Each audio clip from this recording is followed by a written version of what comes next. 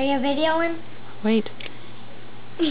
Andrew wants a video of his new tooth. What do you want to tell us about it? See, I toothed right there and I'm going to bite down and wait and see if these teeth cover up that tooth. Take a good look at it, see?